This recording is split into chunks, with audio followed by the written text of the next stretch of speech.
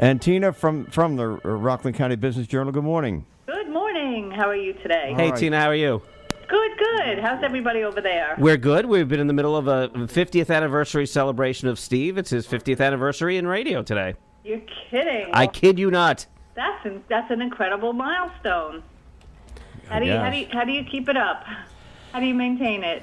Uh, What's the I drink a lot and do workouts. All right, all right. Exercising the muscle. Right. That's what So they say. Yeah. What have you got for us this morning? As we're uh, kind of a, on a- on a tight one here, but but uh, want to get some of the highlights of what's in the uh, Well, what's yeah, I in the haven't journal. talked to you guys in a couple of weeks because of the holiday, and um, I think by now you know that uh, Jeremy Schulman was um, is taking over uh, the post that Lucy Redzeposki had Right. um, as the, um, I guess, director of economic development and tourism Right. for the county, and that they're essentially, I guess, folding in uh, the REDC. It kind of does seem that way, but it's really unclear what uh, what the REDC thinks is happening to them. I'm not 100% sure they, they admitted it in that way.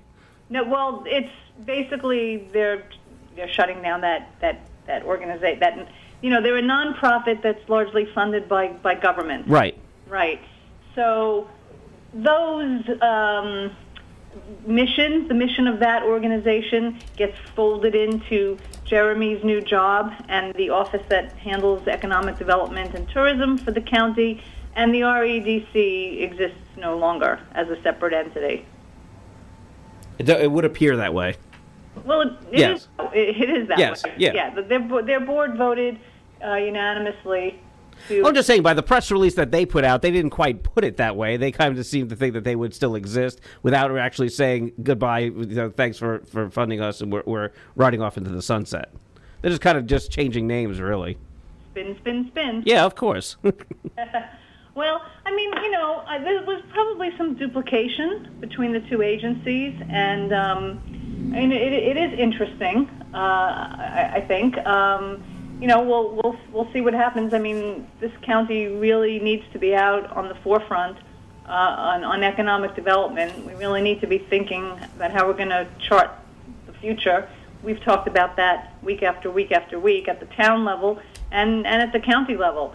So. Uh, Truth be told, uh, Jeremy has um, big stilettos to fill, if you know what I mean. Um, you know, Lucy really was a force, and um, I think that the agency itself, um, I, I think that there's, there's probably a lot of pressure to see how that agency um, performs. So we will keep an eye on that for sure. He's got to land something big that uh, that uh, like, a, like a Legoland. I know Lucy was upset that that was the one that got away that she was most uh, upset about. Uh, if he can land something like that, a tour, a big tourism hook, uh, that would be a coup. You know, I'll tell you what I think about that. Um, I think that everybody likes to cry in their soup over Legoland specifically, and I- you know, okay, maybe that was the one that got away. But I really think when we think about economic development, it's not about luring one entity to, let's say, the Nyack College site, and then we're good to go. It, it's really about a bigger vision, a bigger plan in terms of how the pieces interlock and work together, and you know what the county becomes and represents. Oh, no doubt. But uh, I remember we interviewed Lucy a couple months back. Uh, uh, I think it was as she was leaving or just before she was leaving. And I know that was one of the things she had indicated that she was disappointed in. Not just, I mean, she's obviously got some big shoes to fill. Uh, he's she's been touted far and wide by the county executive all throughout her tenure. Uh, but if you're talking about tourism specifically, that's the one one of the those things that you could look to as you know. It's well, it's different than a, a typical office complex or a school. This is something that would have been unique uh, in the area, certainly throughout uh, uh, for for tourism uh, as it as it would be that that didn't come here and instead went to Orange County. That's true, and um, actually, they're having lots of environmental mess up there. I don't know if you've been following that. Yeah, well, there, there, there, there are groups that are upset about it, but whether that actually slows them down too much or not still remains to be seen. But because they they've already started, you know, putting shovels in the dirt, so we'll Yeah, see no, how no, it goes. Legoland up there will get built. I'm just Oh, saying yeah. they've they've fallen into um, you know they've been fined by the DEC and Uh huh. they've had a lot of problems. But no, I, I yeah, no, I mean, I think the thing about Rockland County is that is that we have to think about, you know, who we want to be. Uh, you know, are we a county that's that's filled with interesting interesting hotels and and I mean, I, I think one of the the areas that you can see, um, you could just you see it before us is we- we're becoming a place where the whole craft beer uh, category is driving a lot of um, interest and buzz and, and, and tourism. Ha, buzz. Uh, I get it. Yeah, you know, you know what I mean. I mean, like the beer industry here, the craft beer industry. I, I think if you can look in one pal- palpable um, area where where you see a pulse, where you see activity, where you see creativity, where you see p- interesting partnerships, like the recent, um, you know, beer fest over at Garnerville. Um, here's an industry that's that's hot, it's young, it's it's vibrant, and and it's you know you can see you know them partnering. I don't know whether it's a farmers market, whether it's things that they're doing at the breweries themselves in Pearl River, and even how those breweries in Pearl River are allowing Pearl River to think of itself, you know, as a place that has um, more possibility. We, we wrote a cool story last week that got a lot of attention about a restaurateur in uh, New City. Uh, he, he owns um, Dill Mediterranean Grill on, on Main Street. It's like Mediterranean food, um, like fast casual. And he'd gone to the, the uh, Orangetown Planning Board and said, look, you know what, I, I'd like to do a food truck um, in Pearl River, you know, late night, capture that, that post um, beer drinking, you know, crowd or possibly early morning. And he was, and he presented the idea of, you know, the, the, the food truck, um, like the colonies of food trucks that have also become like a, a magnet, you know, and um, the, the town doesn't have an ordinance one way or the other for that. So those town officials are going to have to, you know, drill down and think about how that might work or deny him, although I think that would be short-sighted. It's things like that, you know, it's things like that that that push us away from not push us towards something new, something interesting, something that it's not. What I'm saying is, it's not Legoland. It's not this one big word, this one big thought, one big concept. It's more like small things that are very popular and that have the ability to really drive tourism in a much more organic, um, you know, uh, progressive, um, building block sort of way. So if I, you know, I, you know, if I were in that job, I would be thinking a little bit along those lines equally, as well as trying to hook the big fish.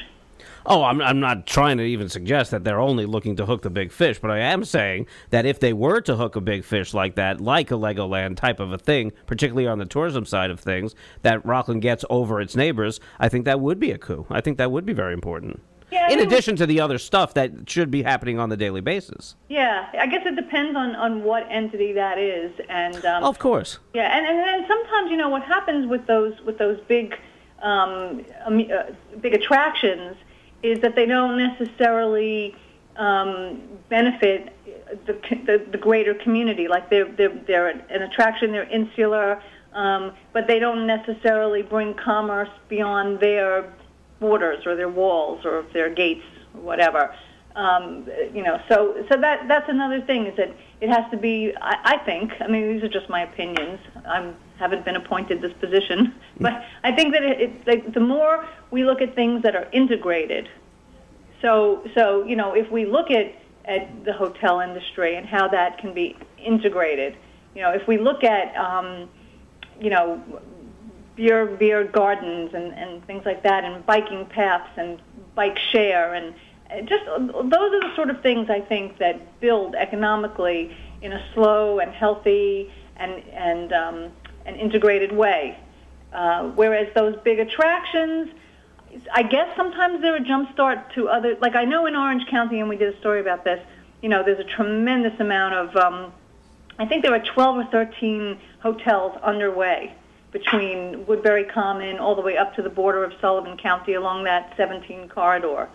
And, you know, that's an example um, of, of how those big entities, you know, start to really stimulate a lot of development. I know that they're trying also up there to get the Great Wolf Lodge, um, but that they haven't done that yet. And I think we, we were trying to get that also here. Correct. Yeah, they haven't found a landing place yet. Yeah. Now you know it's true. A water park like that, I guess that really would be.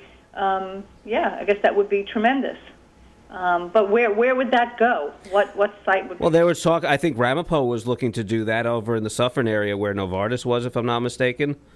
Um, I was thinking they were looking, or they someone had had suggested that as an area. It's right off the the throughway, easy on and off to get to. Yeah, yeah. So I mean, there is the possibility. There's a possibility it could even go where where Legoland might have gone if they changed their mind up there. Yeah, but then the water company would want the desalination plant back to coming through. Anyway, listen, we got to run because it is time for Listen Up Rockland, which is heard every uh, uh, Monday, the first Monday of every month. So, uh, Tina, the the the uh, publication, which is in strictly internet publication, right? Right. rcbizjournal.com. rcbizjournal.com. Online 24/7, bringing you your business news. All right, thanks much. Speak to you next week. Yep.